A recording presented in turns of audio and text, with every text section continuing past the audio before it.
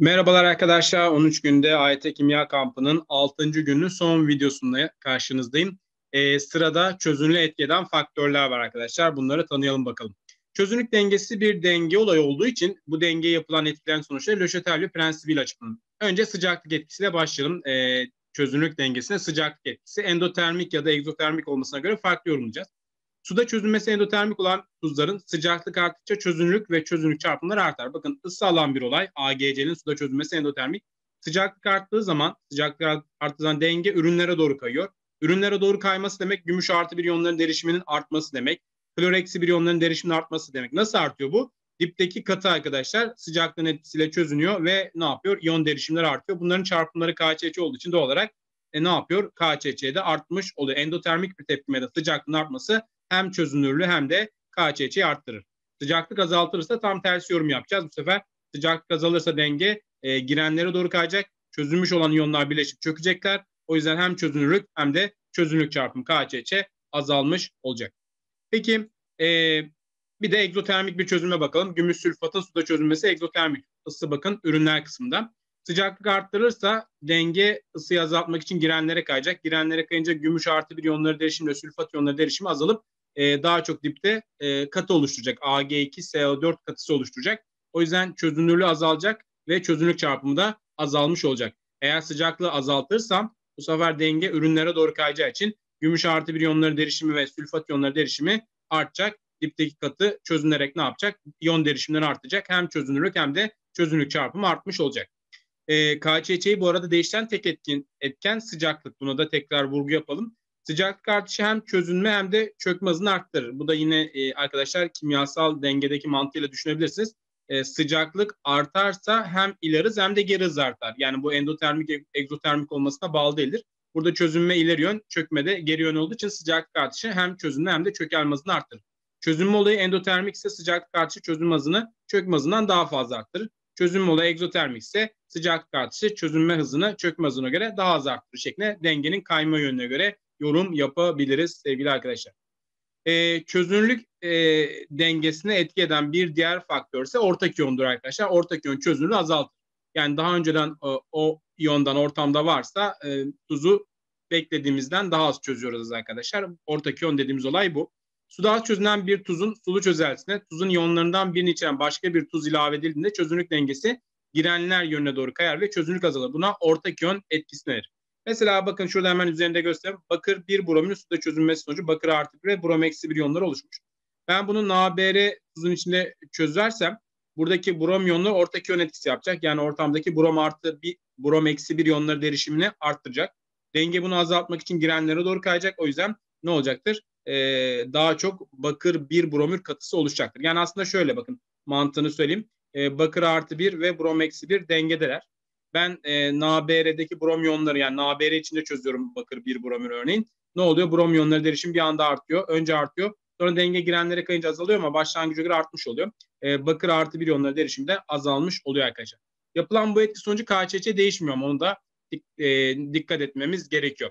E, diyor ki e, saf tuza sudaki ne göre ortak yön içeren sulu çözelti daha az çözünür. Bunu e, sonuç olarak ortak yön çözünürlüğünü azaltan bir etkidir. Örneğin bakır bir bölüm tuzun oda e, koşullarında saf sudaki çözünürlüğü NaBr'nin sulu çözeltisinde çözünürlüğüne karşılaştırıldığı zaman saf suda daha çok çözündüğünü söyleyebiliriz. Bunu da biraz önce açıkladık zaten.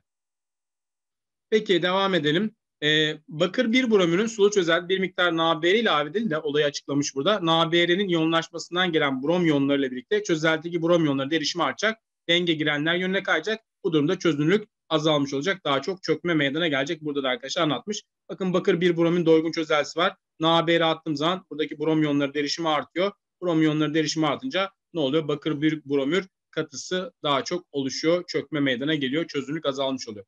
Mesela XY2 tuzunun doygun çözeltisine NaY e, katısı eklenince XY2 katısının çözünürlüğü şöyle. Hemen X artı 2 artı 2Y eksi diye yazdım. Na-Y katısı eklenince Na artı 1 ve Y eksi iyonlarına ayrışacak ve ortamdaki Y eksi 1 iyonları derişimi artacak. Denge bunu azaltmak için girenlere doğru kayacak ve ne olacak arkadaşlar? Çözünürlük azalmış olacak. X artı 2 iyonları derişimi azalır. Ee, XY2'nin derişimi değişmez zaten katı madde arkadaşlar. Daha çok çökecek ama daha çok katı oluşur, e, katının miktarı artar gibi yorumları da yapabiliriz. E, çözüme işte ne olacak? Dengesi girenler yönüne doğru kayacak. X artı iyonları derişimi azalacak. Y eksi iyon derişimi önce artacak sonra azalacak ama başlangıca göre artmış olacak. KÇÇ ama arkadaşlar sadece sıcaklığı değiştiği için ortak iyon KÇÇ'yi ne yapmaz? Değiştirmez diyoruz. Arkadaşlar bu bölüm kazanımlarda yok artık. Çökme olayı e, fen lisesi müfredatında var. Anadolu lisesi müfredatında olmadığı için ortak kazanım değildir. O yüzden çökme olayını anlatmıyorum. Yani işte birleştiren çöz, e, çöker mi çökmez mi çöktükten sonraki ortamdaki iyon derişimler nedir kısmı kazanımlarda yok sevgili arkadaşlar. O yüzden bu kısmı geçiyoruz. Şimdi ilk sorumuz şöyle. E, diyor ki 20 derecedeki KÇÇ'si 5 çarpı 10 üzeri eksi 9. 40 derecedeki KÇÇ'si 4.8 10 üzeri eksi 11. Yani sıcaklığın artması e, KÇÇ'yi ne yapmış arkadaşlar? 10 üzeri eksi 11'e e, düşmüş. KÇÇ azalmış. Sıcaklık arttıkça KÇÇ azalıyorsa demek ki egzotermik bir reaksiyon diyebiliriz. E çünkü ısı burada değil arkadaşlar. Isı bu tarafta olursa bakın şimdi yapalım. Sıcaklığı arttıralım. Denge ne yapacak? Girenlere doğru kayacak egzotermik olursa. E, girenlere kayınca X artı 2 iyonları ve Y eksi iyonları derişimi azalacak ve KÇÇ azalacak. Sağladı şu anda. Ama egzotermik olduğunda sağladı. O zaman ikinci tepkime arkadaşlar yanlıştır. E, XY2 tuzu çözünürken ısı alır. Endotermiktir diyor. Hayır ben egzotermik olduğunu söyledim. Bu da gitti. 25 derecelik doymuş çözelti 50 derece ısıtılırsa bir miktar XY2 tuzu çöker. Evet sonuçta egzotermik bir çözünüm olduğu için sıcaklığın artması dengeye girenlere doğru kaydırır. Girenlere doğru kayınca da ne olur? Daha çok katı oluşur. Daha çok çökme meydana gelir. O yüzden cevabımız yalnız 3 olacak. Bir sonraki sorumuz gelsin. Ee, kurşun 2 karbonat katısının sudaki çözünme dengesini vermiş. Ee, buna sodyum karbonat ekliyoruz. Sodyum karbonat hemen suda sodyum artı 1, karbonat eksi 2 diye iyonlarını aşır. Yani ortamdaki karbonat iyon derişimini arttırır. Denge bunu azaltmak için girenlere doğru kayar.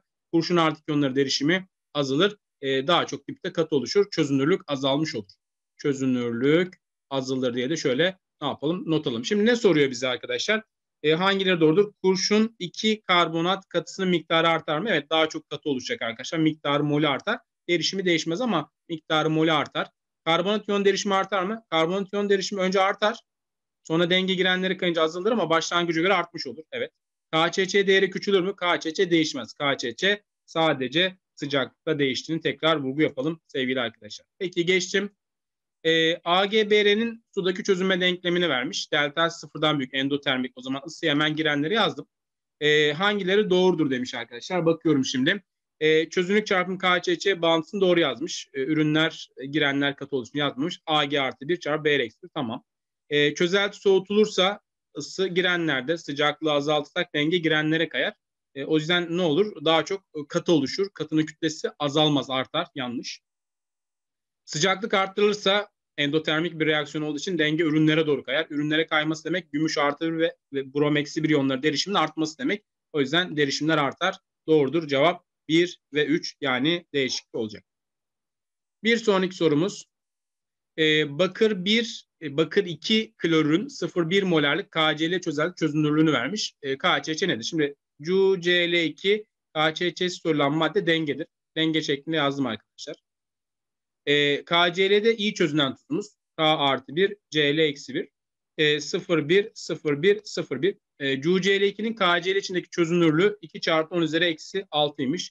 2 çarpı 10 üzeri eksi 6, 4 çarpı 10 üzeri eksi 6 katsayılarına göre. Ortak iyonlar klorlar. Denge ifadesi denge e, CuCl2 için yazılacak. Yani CuCl için CuCl2 için KCC, Cu artı iyonları derişimi çarpı klor eksi iyonların derişiminin karesi. Şimdi yerine yazıyorum. Bakır artı iyonları derişimi ne kadar? 2 çarpı 10 üzeri eksi 6. Bakın yazıyor altta. Klor eksi 1 iyonları derişimi ne kadar? Ortak iyon. 4 çarpı 10 üzeri eksi 6 artı bir de aşağıdan gelecek 0,1'in karesi. Ancak arkadaşlar dengeden gelen bakın klor iyonları derişimi KCl'den gelen klor iyonlarına göre çok çok küçük. O yüzden ihmal edeceğiz. Bu işlemi yaparsanız 2 çarpı 10 üzeri eksi 8 çıkacak cevabımız C Bu e, soru tarzında arkadaşlar dengeden gelen kısmı ihmal etme olayını unutmayacağız. Peki hemen geçiyoruz test kısmına da bakalım. Yukarıdaki denkleme göre katısıyla dengeli olan XT3 çözeltisine işlemleri ayrı ayrı uyguluyor. XT3'ün çözünürlüğünde meydana gelen değişim. Şimdi arkadaşlar e, dipte katımız var. Şöyle düşünün. Dipte X, Y3 katımız var. E, X artı 3 iyonları var. Bir de Y eksi iyonları var. Şimdi ben su ilave deyince dipte katı bitene kadar su ilavesi derişimleri değiştirmez. Çözünürlüğü de değiştirmez. Çözünürlük değişmez.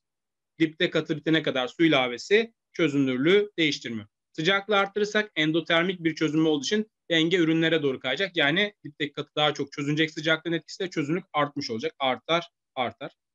Ee, zaten XY3'ün dengesi olduğu için XY3'ün dengesine XY3'ten ilave etmek daha çok çözünmesini sağlamaz. Hatta aslında XY3 çözünür ama çözünmüş olan iyonlar birleşip çökeceği için herhangi bir çözünürlükte oran olarak bir değişme meydana gelmez. Zaten buna doymuş bir çözelti için olduğu için yani arkadaşlar çözünürlük değişmez diyoruz. Cevabımız A şıkkı oluyor. Peki ikinci soru gelsin bakalım. E, dipte katısı olmayan mangan 2 sülfür çözersine K2S tuzu ilave ediyor. MnS katısının dengesini şöyle bir yazalım arkadaşlar. Mn artı 2 artı 2 e, S eksi 2. Şimdi K2S hemen suda iyonlarını araştır. 2 tane K artı 1 S eksi 2. Yani aslında S eksi 2 iyonları derişimini arttıracak bir faktör. Ortak yöneticisi. Denge bunu azaltmak için girenlere doğru kayar. Mangan artı iyonları derişimi e, azalır. E, dipteki katı miktarı, molü miktarı artar. Daha çok ne yapar? MN2S, MnS katısı oluşur. Mangan 2 sülfür oluşur. E, sülfür iyon derişimi arttı mı? Önce arttı sonra azaldı ama başlangıca göre artmış oldu arkadaşlar. Mangan 2 sülfür katısı oluştu mu daha çok? Oluştu. E, mangan 2 sülfürün çözünürlüğü azaldı mı? Evet sonuçta girenlere doğru kaydı. Ortak iyon etkisi yaptık. Or ortak iyon çözünürlüğü azaltır diyoruz.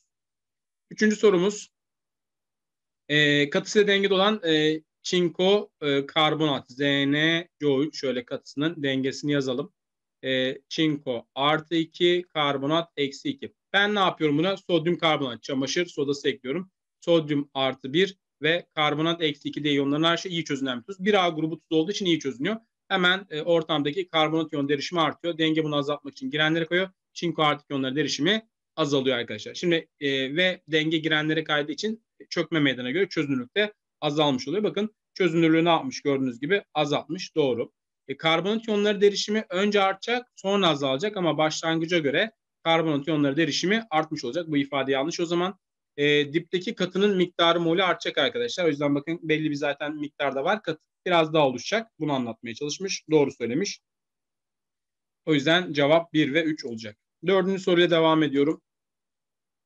20 derecede çözünürlük çarpımı KÇÇ değeri 10 derecede çözünürlük çarpımı KÇÇ değerinden büyük olan yani daha sıcakta daha çok çözünmüş demek ki endotermik diyebilir miyiz? Diyebiliriz değil mi? Suda çözünmesi endotermik yani XY katısının e, ısı alan bir olay olduğunu söylüyorum. X artı Y eksi. Neden? Çünkü sıcaklık daha yüksekken daha iyiymiş çözünürlüğü. KÇÇ'si daha yüksekmiş daha doğrusu. Çözünürlüğü de yüksektir tabii doğal olarak. Saf suda çözünmesi endotermiktir. Doğru. E, saf suyla hazırlanmış doygun çözeltide 20 derecedeki x artı 1 iyonları derişimi 10 e, derecedeki x artı 1 iyonlarından büyük müdür? Evet sonuçta endotermik olduğu için sıcaklığı yüksek olan da daha fazla e, çözünmüş XY katısı olacaktır. Bu da daha çok x artı iyonları ve y eksi iyonları olduğunu gösterir. Doğrudur. Saf suyla hazırlanmış 20 derece doygun çözeltideki x artı iyonları derişimi y eksi iyonları derişimi eşittir. Yani 10 derece de olsa 20 derece de olsa çözünürlüğü işte ne olsun? A olsun. A, A, A'dır. Atıyorum bu 10 derecedeki olsun. 20 e, derecede tabii farklı bir çözünürlük olacak ama mesela B kadar olsa da B, B, B şeklinde olacak. Çünkü katsayılar bir. Yani anlatmak istediğim şu arkadaşlar. Her halükarda e, hangi sıcakta olursa olsun X artı ile Y eksinin e, derişimleri birbirine eşittir diyebiliriz. Beşinci sorumuz gelsin. E, beşinci soru diyor ki oda koşullarında kurşun 2 sülfürün sudaki çözünme denklemi vermiş. Katısıyla dengeli olan kurşun 2 sülfür e, sıcaklığı arttırırsa ısı bu tarafta sıcaklığı artıyor denge ürünlere doğru kayacak. E, çözünürlüğü artmış olacak. Daha çok dipteki katı sıcaklığın etkisiyle çözünecek. KÇÇ hem kurşun artı iyonları hem de sülfür iyonları arttığı için KÇÇ artmış olacak. Çözelti toplam iyon derişimi toplam iyonlar e, kurşunu artıyor. Sülfürler e, ikisinde derişim artacağına göre toplam iyon derişim de artmış olur diyebiliriz. Altıncı sorumuz gelsin. E, oda koşullarında şekilde kapta katısı dengede X2Y çözeltisi bulunmaktadır. E, çözeltinin sıcaklığı arttığında X2Y katı miktarı arttığına göre çökme meydana gelmiş arkadaşlar. Demek ki egzotermik e, sıcaklığı arttırdığım zaman denge girenlere doğru kaymış. X artı ve Y eksi iyonları, Y eksi 2 iyonları derişimi azalmış ve daha çok katı oluşturmuş. Bunu anlatıyor. Egzotermik bir çözünme olduğunu söyleyebiliriz. E, birim hacminde X artı iyon derişimi azalmıştır. Sonuçta denge girenlere kayınca X artı iyonları derişimi azaldığı için e, bunu da doğru diyeceğiz. Çözeltinin yoğunluğu azalmıştır. Çözeltide çözünen madde çökmeye başlamıştır arkadaşlar. O yüzden doğal olarak çözeltinin kütlesi azalmıştır. E, çözeltinin hacmi değişmediği kabul edilir. hani buradaki çökmedeki yani katının kapladığı hacmi ihmal ettiğimiz zaman e, çözeltinin kütlesi azaldığı için yoğunlukta azalmıştır diyebiliriz. Cevap E Yedinci sorumuz şöyle. E, AGC ile tuzunun 10 üzeri eksi 1 molarlık nacile çözelti çözünür. Ortak iyon sorusu. Bu tür sorularda ben şöyle yapıyorum arkadaşlar. İki tane tuzu da şöyle iyonlaştırıyorum. AG artı 1, CL eksi 1. İşte NaCl'yi de iyonlaştırıyorum. Na artı 1, Cl eksi 1. Sonra bunlardan biri denge olduğunu biliyorum. E, ipucu KÇÇ'si verilen ya da sorulan dengedir. AGCL denge. Diğeri de iyi çözünür. Zaten e, konu anlatımında da hatırlarsanız bir A grubu tuzların iyi çözünürlüğünü söylemişti. 0,1, 0,1, 0,1. E, AGC'nin NaCl içindeki çözünürlüğü X derim. X, X, X. E, ortak iyon klor. E, denge ifadesi AGCL için yazılacak. AGCL için e, KÇÇ bağıntısı e, gümüş artı bir iyonları derişimi çarpı klor eksi bir iyonları derişimidir. E, gümüş artı bir iyonları derişimi X, e, klor iyonları derişimi X artı 0,1 neye eşit? 10 üzeri eksi 8 eşit. Şuradan dengeden gelen X'i ihmal ediyorum. E, X eşittir arkadaşlar. 10 üzeri eksi 7 çıkıyor. Çözünürlüğünü bulmuş oluyoruz. Sekizinci sorumuz şu şekilde. E, 10 üzeri eksi 2 molar KH çözelsinde AgOH'ın çözünürlüğü 2 çarpı 10 üzeri eksi 6 mol olduğuna göre AgOH'ın KÇ'si nedir? Bu sefer çözünür vermiş KÇ istiyor. AgOH çözünme denklemlerini yazalım. Ag artı 1 OH eksi 1. E, KOH K artı 1 OH eksi 1. Burada iyi çözünen kim? KOH. Denge kim? AgOH KÇ'si sorulmuş bakın AgOH'ın. E, işte 10 üzeri eksi 2 molar, 10 üzeri eksi 2 molar, 10 üzeri eksi 2 molar iyi çözünüyor e, tamamen %100 yoğunlaşıyor. AGOH'ı da arkadaşlar çözünürlüğü 2 çarpı 10 üzeri eksi 6 demiş. 2 çarpı 10 üzeri eksi 6, 2 çarpı 10 üzeri, bu 2 çarpı 10 üzeri eksi 6 e, KH içindeki çözünürlüğüm. Ortak iyonlar OH'lar. E, AGOH'ın KHC yazıyorum. Gümüş artı bir iyonları derişimi çarpı 10 üzeri eksi 6. OH iyonları derişimi 2 çarpı 10 üzeri eksi 6 artı aşağıdan geliyor 10 üzeri eksi 2. Tabii biz ne yapıyoruz? Arkadaşlar e, dengeden gelen ihmal ediyoruz. Buradan işlemi yaparsa 2 çarpı 10 üzeri eksi 8 yani A şık oluyor. Son bir sorumuz var. Bununla birlikte arkadaşlar bitiriyoruz. X2Y tuzunun 25 derece çözünürlük çarpımı KÇC'si 32 çarpı 10 üzeri eksi 9'muş. 50 derecede 1 litre doygun çözelti X2Y tuzunun sıcaklığı 25 derece düşüründe 1 çarpı 10 üzeri eksi 3 mol X2Y tuzu çöküyor. Buna göre 50 derece X2Y tuzunun çözünürlük çarpımı KÇC'si hangisinde doğru olarak verilmiştir? Yani e, çözünürlük çarpımını vermiş burada. Buradan ben çözünürlüğü bulabilirim. Uzatmıyorum. E, X2Y şeklindeki tuzların arkadaşlar 4 e, çözünürlüğü A diyelim 4 A küptür. E, hani 2A'nın karesi çarpı A'dan 4 A küp eşittir. 32 çarpı 10 üzeri eksi 9. Şuradan 4'ü 4'e böldüm. 32'yi 4'e böldüm 8. Küp kökünü alırsam A eşittir. 2 çarpı 10 üzeri eksi 3 molar çıkacak. Yani 25 derecedeki çözünürlüğü bu arkadaşlar. 25 derecedeki çözünürlüğü bu. Bu kadar çözülmüş. Şimdi e, 50 derecedeki e, 25 derece düşünce çöküyor. E, yani demek ki daha önceden çözülmüştü bu. Ama sıcaklığın etkisiyle çökme meydana geldi. Biz şöyle yapalım. Yani elimizde 1 litre doygun çözeltide normalde 2 çarpı 10 üzeri eksi 3 mol çözülmüş duruyor 25 derecede. E, çökeni de ekleyelim buna. 1 çarpı 10 üzeri eksi 3 de ekleyelim. 50 derecede demek normalde 3 çarpı 10 üzeri eksi 3 mol çözülmüştü. 1 litre çözeltide 3 çarpı 10 üzeri eksi 3 molar çözülmüştü diyebiliriz. Tekrar yazalım x2y'nin bu sefer 50 derece için yapıyoruz. Çözünme denklemini yazdım. 2 tane x artı artı y eksi 2. Çözünürlüğü artı 3 çarpı 10 üzeri eksi 3 molar. E, 6 çarpı 10 üzeri eksi 3 molar. 3 çarpı 10 üzeri eksi 3 molar. KÇÇ eşittir.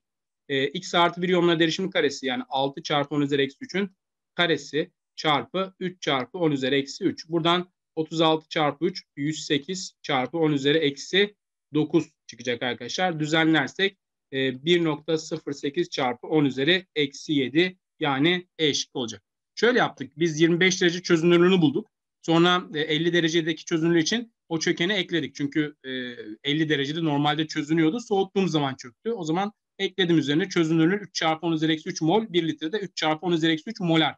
Çözünürlüğü 50 derecede buymuş. Sonra iyonlaştırıp yerlerine yazdık. KÇÇ'de yerine yazınca KÇÇ'si 1.08 çarpı 10 üzeri eksi 7 çıktı arkadaşlar. Evet bu şekilde 6. günde sonuna gelmiş olduk arkadaşlar. Kendinize çok iyi bakın. Görüşmek üzere.